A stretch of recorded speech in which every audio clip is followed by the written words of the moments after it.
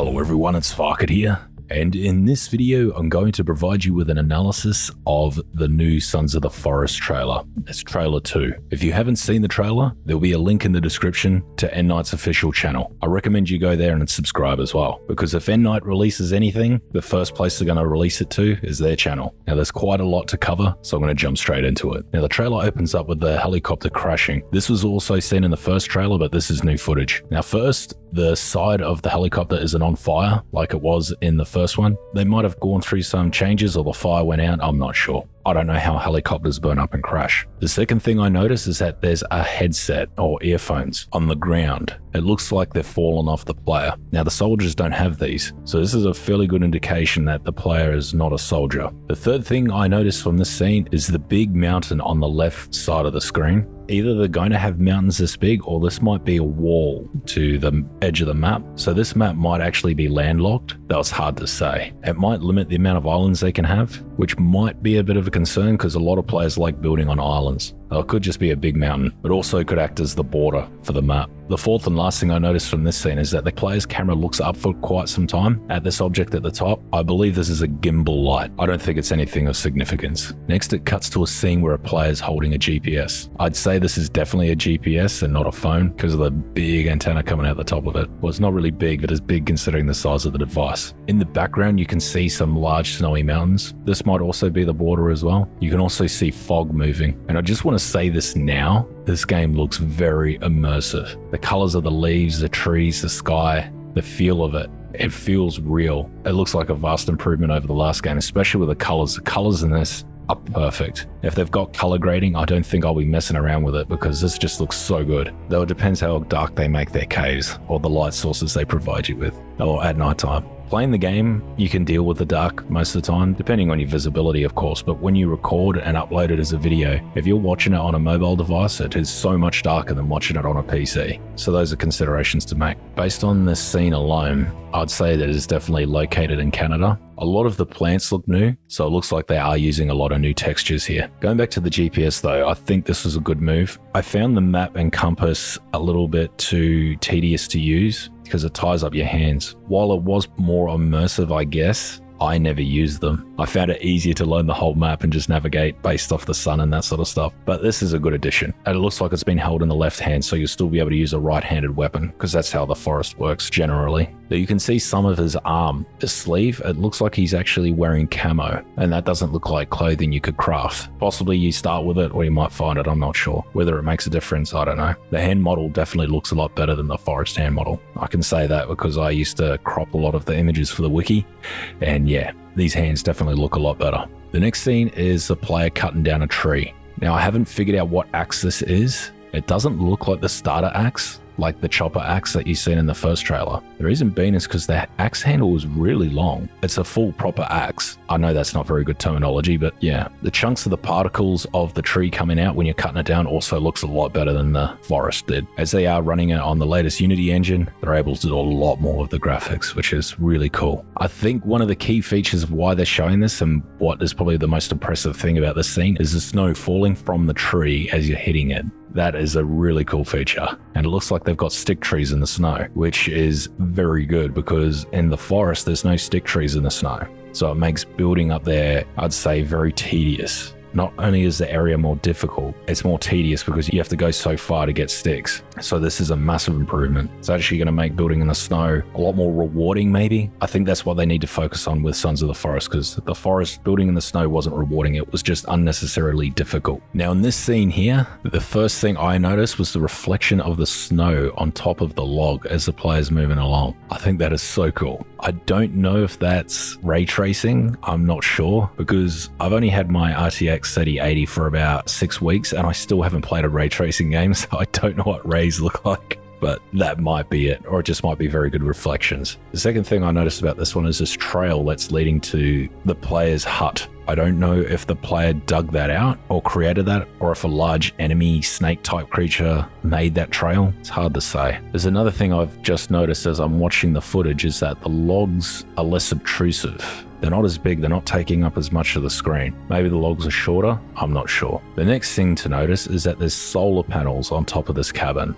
and there's some on the ground at the side of the house. So this means we're going to be getting electricity, which is really cool. Knowing what the developers are like at Endnight, they're not going to give us like 50 caliber auto turrets to defend our base. I think it's going to be providing quality of life improvements, which is what I think a lot of people go for when they play these type of games, like such as Seven Days to Die or Skyrim. I remember when I was modding Skyrim, I always went for the quality of life mods. The ones that just make it feel more immersive or to make a few things a little bit easier without going overboard. Like instead of cooking your food on a fire, having to light the fire every time, you've got a stove. It's just a matter of flicking it on, boom, cook your stuff rather than collect wood, collect sticks, light the fire, make sure you don't burn the food, etc. So that's definitely a good addition, I think. Though if the game ever goes to Steam Workshop, the game will probably definitely expand upon that. People will add their own stuff for what they think would be useful in a survival situation. You know, Liberty Prime from Fallout, for example, with solar panels on it. I'm just going to move on from this one. The next thing I notice is that this looks like a drying rack of some kind, but it looks like there's skins on there. So there might be a tanning process involved with the Sons of the Forest, which I think is a very good feature. So like when you kill an animal and skin it, you can't just use the skin straight away. You've got to go through the tanning process. Obviously, they've got to avoid making the process tedious, but I think it is a legitimate process that has to go through if you want, you know, a better quality leather rather than just using the skin itself. Though I'm not a survival expert, so I can't really comment on it.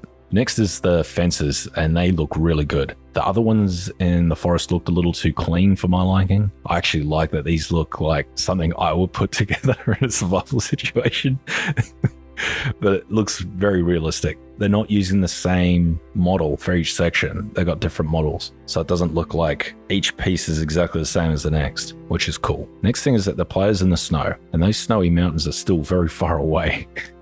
So, based on what I've seen so far, this map is looking at least twice as big as the forest map, but I'm pushing more for it. It's going to be about four times the size. Though I don't really care about the size of the map, I care about what's in the map because you could just have this big empty world and I don't think they'll want to go down that route. I don't think the forest ever felt empty, so I'm not too worried about it. Now, the building that's there, it looks like a pre-built log cabin that you should be able to build. What I really like about it is that it's a lot bigger than the log cabin in the forest. The forest log cabin was fine, it was just very small. They might be going down a route of having bigger pre-builds. I think that would be a pretty good feature. Another thing from the scene is that there's a guitar there, and I'm not sure why that's there. It looks like a Gibson guitar. I'm not very knowledgeable with guitars, but it's not an ESP or LTD or anything like that. It's got the Gibson shape, but that's not really relevant thing is, why is there a guitar there? And what I'm thinking is maybe with the props they have in the game is that you can actually take them with you and you can use them to decorate your house. I know that sounds pointless and it probably is, but a lot of people would like that to be able to take objects from around the world. Maybe it could be used as a morale booster because, you know, playing music will obviously boost morale, even though it looks like an electric guitar. So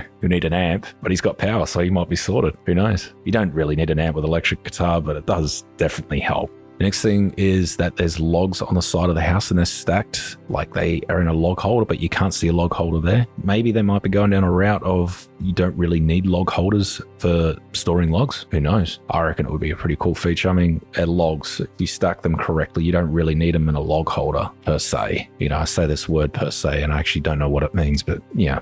Next is it appears you have to look after the woman from the first trailer, you know, the one that um yeah, gets me all hot and bothered. Anyway, I'm very curious to see how this pans out. I am liking it. She's out the front freezing cold, so I'm guessing the player has to take care of her.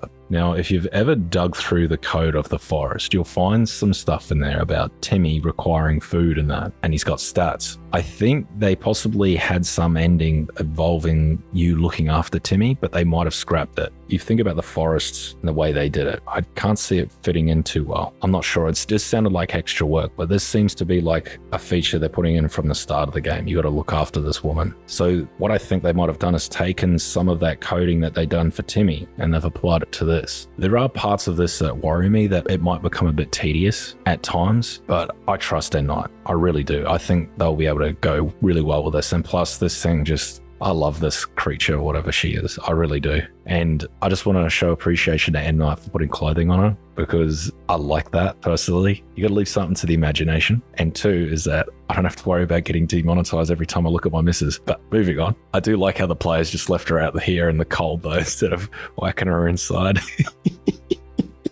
you got to show them who's boss, right? Anyway, In the next scene, the player's walking towards my missus and he's holding what I thought was originally a bear trap because I just skimmed over it, but it's actually a crossbow that's unloaded. Digit, who helps me with the thumbnails, and he's quite knowledgeable about the stuff as he was in the army. I was only in the police, so my knowledge about some of this stuff is just far too limited. But he said this is a crossbow, and he found the model of it. And I didn't grab the model name, and I can't look it up right now because I'm in a massive rush. Oh, it's just turned Christmas Day here, so Merry Christmas to everyone who's listening to this right now. Anyway, it will look much more like a crossbow when it's loaded. The thing is, when they're loaded, it's probably not a good idea to walk around with a loaded crossbow all the time because I imagine it'll place a lot of tension on the strings and that sort of stuff. So you load it for when you might need it. That might be a thing. And it is definitely not something you could craft. You could not craft this, though they might go down a route of you've got to build it, you've got to find the parts for it because looking at it, there's a lot of screws and stuff and that there. So that could be a thing. I don't know enough about it, but it's a compound crossbow. Next thing about the scene is that my missus is there and she seems to be relaxing in a bit of a seductive pose, which is just,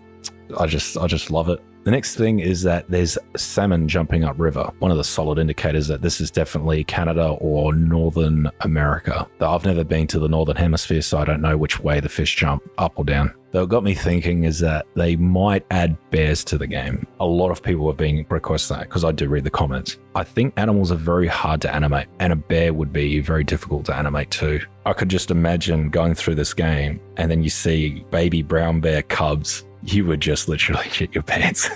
I know I would because that's pretty much how it goes on in real life, isn't it? They will see. I think they could fit it into the game well. But yeah, the salmon's jumping up the river, which looks really good. And also the water particles coming off the river look really good too. The waterfall, I should say. What's cool is that in that Q&A I did, they mentioned that they could do seasons. So it'll be very interesting to see how the world would look in the snow and that sort of stuff would these rivers freeze over or not? There's only one other survival game that I know that has seasons, and that's Subsistence, and that's only a one man developer team. Well, it's not really a team if it's one person. God, fuck it. It's like 12 a.m. So bear with me while I'm recording this. So it'll be very interesting to see what these guys can pull off with their seasons. Obviously, it's going to be a lot better than Subsistence, but I haven't played that game since they added that update. And that game is also in Unreal Engine. This is in Unity. The next scene is the player holding a pistol. Originally, at first, I thought it was like a modified Glock 22, because that's all I've been trained with when I was a cop, and that's the only gun I ever used while I was there. It's probably the first thing we're going to say, yeah, it's Glock 22. Or what's this? Yeah, it's a Glock 22, but it's not. I spoke to Digit, and he believed it's a Sig Sauer. Hopefully, I'm pronouncing that right. Don't butcher me if I'm not. A Sig Sauer P320 or P320. The branding on it says combat pistol, but it appears to be modeled after the SIG. You mentioned that the takedown lever is also undone on the model. It should be horizontal unless stripping the weapon. It digit believes that the designer may have confused it with a slide release catch above the player's thumb knuckle. That's probably why I got it confused and thinking it was a Glock. But the grip on the... Oh man, I'm going to regret saying this because I'll get butchered, but... Oh, God, I can't even remember the name of the parts anymore It's been so long since I stripped and cleaned a pistol. I'm just going to leave it at that. I'm not going to say anymore because I'll get butchered in the comments by the Americans. but I don't blame you. It's just guns are not very common in Australia. The iron sights actually have green dots on them, which I don't think you'd be able to power the LEDs on a pistol. I mean, it could be radium or uranium. I'm not sure what it is. I don't know if you can use that material for such things anymore, but they do glow. Could make it easy to see through iron sights at night, but I'm not sure about that. I was actually a very good shot with a pistol, mind you, for those who are being very critical of me right now. Another part of this scene is the blue light face mask on one of the cannibals. It's glowing blue, but it doesn't look like he's wearing goggles or anything. I'm not sure what he's wearing. It might be a status thing, he might be a leader or something. I do like the headshot that he gets. That's quite cool. And she's pointing at him, and then she gets all shocked when he gets shot in the head. So she's definitely not going to survive on her own without you. I'll say that. They've also definitely worked on a lot of the movement, like they crawl back away from you. They still help each other I still think they did a really good job in the forest, so I can't really say if this is any better, but it does look really good. They're probably able to do more with it. The cannibals also look very tough. He shoots them in the stomach and kind of gets wounded, doesn't instantly kill him. There's a lot of guns in this trailer, and I'm so glad that I asked in the Q&A about gunplay being overdone in this game. If I'd never asked that question, I'd be extremely worried that this was just going to turn into a bit of a shooter. But since they said the ammo would be very limited and the player would have to choose when to use it appropriately, I think that's good. Also note that none of the textures on these cannibals are rehashes from the forest, they're all new. I don't recognize any of these, and I cropped every cannibal just about. So I zoomed in and checked out all their prints and what they were wearing and that sort of stuff. Their paintings, markings, these are all different. In the next scene, you can see that the player is digging holes in the ground with a shovel. I'm guessing it's the same shovel that you can see in the helicopter. Now, at first I got really excited because the ground in the forest can't be tampered with. You can't alter it. Though, thinking about it more has got me worried as to why he's digging these holes and what it could mean. For example, if you needed to do this to build a house, could you imagine how long that might take? Do you think it would be very exciting? I don't think it would be though I think they're doing it for the right reasons. So it's probably for gardens, or maybe you need to do it to plant posts to make your building stronger. That kind of thing would be really cool. But as long as it doesn't turn into like a half an hour digging spree just to build a house. You know what I mean? I don't know if you're going to be able to level the ground very well so you can fit more things in. If you can, that's perfect. I don't mind digging for half an hour, but that means you'd be able to build in all sorts of places. You don't have to worry about the terrain so much. So there are some concerns with this, just mainly about it turning into a grind. So, you know, you had log farming in the forest. In this game, you'll have log farming and dirt farming, which is probably not a good thing but too early to say. It's good to see that they're showing this mechanic that the ground can be altered. In this scene, the player is wiping away a door and trying to open it. it looks like it's to a compound or an underground bunker. The symbol on the door can barely be made out. I ran it by previous symbols from the forest, and sorry if you haven't played that game and this is a spoiler, but this isn't the Sahara symbol from what I can tell. The Sahara symbol is actually a little mountain, though these symbols do seem familiar, but I don't know if I've seen them in the forest itself. Here they're like a honeycomb pattern, but it's just probably too limited to tell. But it would be good to see Sahara return. I'd like to know more about what they did in this series because I've only just touched on them in the forest. Hopefully, they do make a return. Touching more on the hand models, this hand model looks great. You can see the veins in the hand in that. looks really good. Index finger is a little bit indent, but that looks fine. They'll probably fix that later on. The thumb also looks very far away from the hand, too. God, I'm nitpicking, but it looks like he gets into this bunker thing here. And it's definitely got a bunker vibe due to the, how the walls are. They're like concrete walls. But this is like a full on lounge room. There's a lounge suite, coffee table, there's a chessboard there. Looks like there's a kitchen in the background. And then the player enters a room and there's a 3D printer there. Now, there's a few things to note here. Either Endnight or the person who designed the mask owns a 3D printer. The reason I can tell is that I've recently started getting into 3D printing and the lines along the mask happen on your 3D prints. so that attention to detail, perfect. That's great.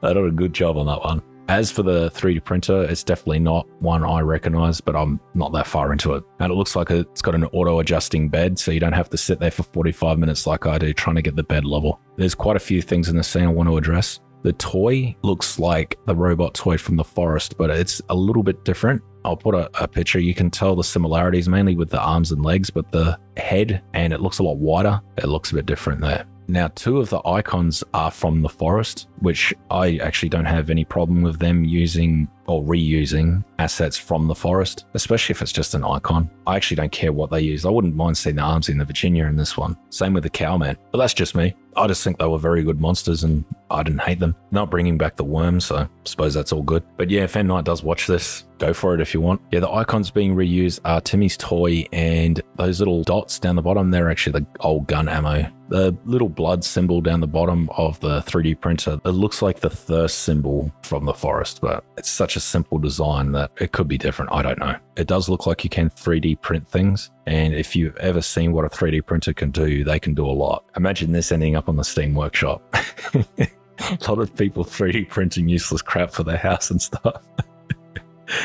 uh, that'd be funny. But anyway, that would be such a cool feature to add to your game. That would be insane. But whether it would cause too many issues with bugs and that, I'm not sure. That's just brilliant. Oh, think that's so cool. But looks like you can print masks. You might be able to print other things. Imagine you could probably print parts to repair maybe the crossbow or too early to tell. In the next scene, you can see the player splitting logs. So what it actually looks like is that this is a floor, and as he's going to place the log, he has to split it first and then it places down, which is really cool. That's really immersive. Though it looks pretty tough to be able to split a log in one hit.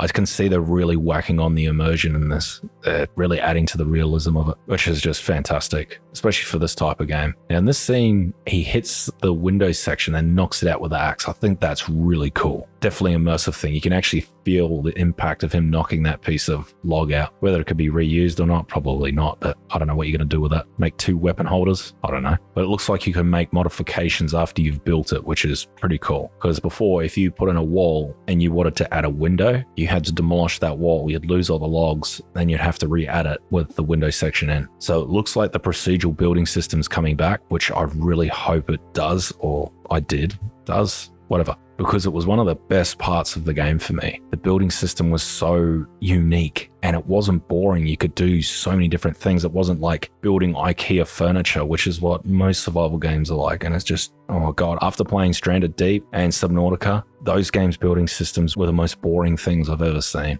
It's like folding up a box. There's barely any creativity to it. I really do hope this is the procedural building system. It does look like it, but I haven't seen any custom foundations yet, so it's hard to say. Next is the player walking into what appears to be his base. The first thing you notice is that he's got a different axe. This looks like it's going to be the modern axe, but that axe head, holy crap. It's not as tall, but it's definitely wider. That thing's going to hit like a truck, I bet. Next thing you'll notice is that on the left, there's a zip line, and it looks like pretty much identical to the forest zip line. The textures for the logs look different, which is fine. They look a lot darker. The logs in the forest are a lot brighter. Actually, come to think of it, a lot of the logs in this, they haven't had the bark stripped off them, which is probably the reason. Which I don't know why you'd strip off the bark if it wasn't necessary. The rope's also a lot darker on the zipline too, which might be a good thing. It does look better, but the thing is, if rope's that dark, it's going to be very difficult to see if it's ever in the environment, unless they've got a new way of making it, you know,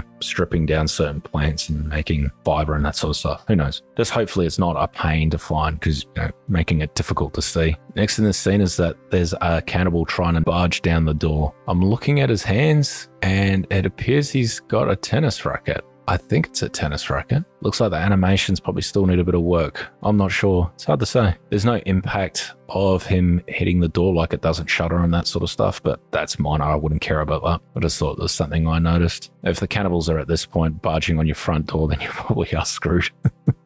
I do hope that tennis racket makes a return. That was a very good weapon. It looks like the player's just using the standard log walls as walls here, like outer defense and that sort of stuff unless that's what defensive walls are going to be. They're just going to be logs laying on their sides. I'm not sure. Uh, there's a cannibal there also trying to knock it down. Also, some of these walls are actually six high instead of the five high that they had before. I think if going with a six high wall would probably be better, unless you can adjust it, like that building mod that Danny Parker made, where you can adjust how much height it's got. Oh, this one's holding a bone. And the next thing you can see a cannibal standing on top of your wall. So that's going to be a thing they might be able to just jump straight up. He's also peeking at you from behind his knee.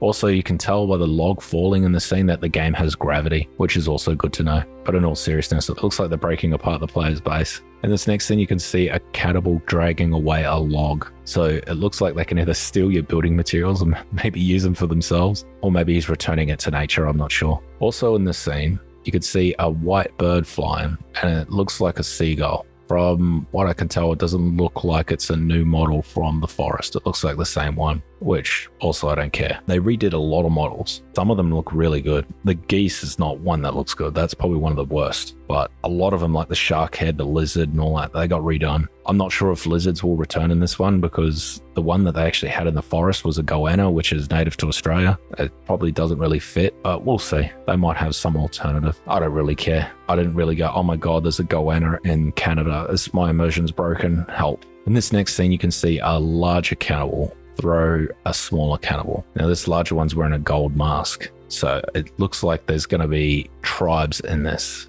which might be part of their new AI system they're doing, which I think would be really cool. Different tribes not getting along, you know, you can get on the good side of some, bad side of others, etc. Though this scene did remind me of the meme, the choke me daddy meme. It really did.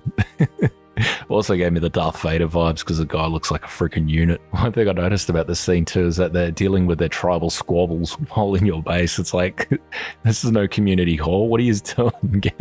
Sort your crap out elsewhere. Ah, oh well. But the player's holding a shotgun here. It's a modified shotgun variant of the Remington something. I can't remember it. Had it in a previous video where what I found on the game long ago. So in this scene, the player's wearing the red mask and he's looking at the one with the gold mask, and they're kind of having a standoff almost. Maybe the cannibals have their own 3D printer. God, I'm saying a lot of stupid crap. Anything that concerns me with this scene is that the player's wearing this red mask and it's obscuring his view quite a lot. Probably more so than might be necessary, but maybe it's something that you just put on your face to signal who you are. You don't wear it around all the time. Looks like red paint is out the window. It's not a thing anymore. Because that scene back earlier where the player's using a pistol, they're covered in red paint. So there's definitely some sort of trouble system going on. He also looks like he's wearing human skin as well, unless it's deer skin. It's Hard to say. And then next thing you see one of the new mutants, and it looks like a human from the waist down, except its upper body has to visit the dentist a lot due to the amount of teeth it's got. I think they're teeth anyway. Now, this thing doesn't look like it's going to be that dangerous unless it can run and charge at you. However, if it got close to you, I think you're going to be royally screwed. I don't want to get near that thing. You can even see the player backing away from it. Though in the next scene, the player's using a taser on one of them. Now, I promised myself I wouldn't go over this too much because I'm actually trained to use this type of taser. I think this is an X26 model. I went back through my training records of when I was in the police, and yeah, this is a model that I was trained to use. I've actually been tased by one of these, as part of the training thing. And yeah, using this as a weapon in a game like this, they probably can't go down the realistic route. Now, the thing is, these things have a really bad range. And when you press the button, they stun for five seconds though you can keep tasering them for a long time. I think it's probably got about a full battery charge of five minutes, but it won't kill anything. Unless they've got a heart condition, they're not realistically going to kill something. Another thing too is that they fire two prongs and they go out at angles, so that's what reduces their range, but they need to create the electrical current. Two prongs need to hit. If one hits and the other one doesn't, then it just hurts them. And not even much. If you get them in the eye or something like that, yeah, that can hurt them a lot, which does happen in real life. From memory, the tasers are very low on amperage. Amps are the ones that actually can kill you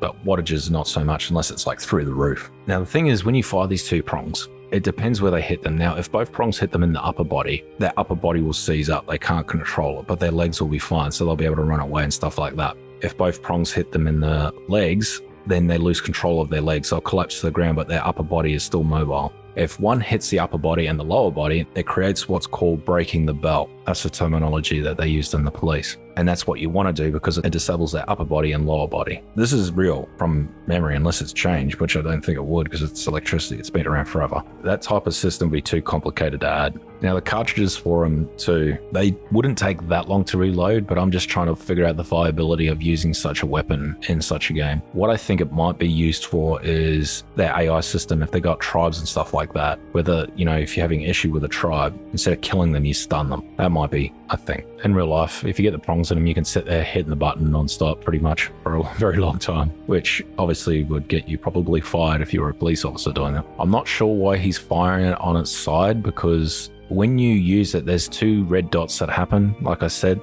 there's two prongs, so it'll show you roughly where they're going to go. The range on them is absolutely god awful. I don't think anything after five meters you're going to hit anything. But you can actually see the confetti parts come out of the taser cartridge, which they use to identify the number and stuff towards the taser to make sure they haven't been used in police brutality and that sort of stuff. It's hard to say what they're going to use this for. I said to myself I wouldn't go on too long about this, but it is something I know. But I kind of hope they don't go down the realistic route. I hope it actually just kills them. Because then it will be more cool.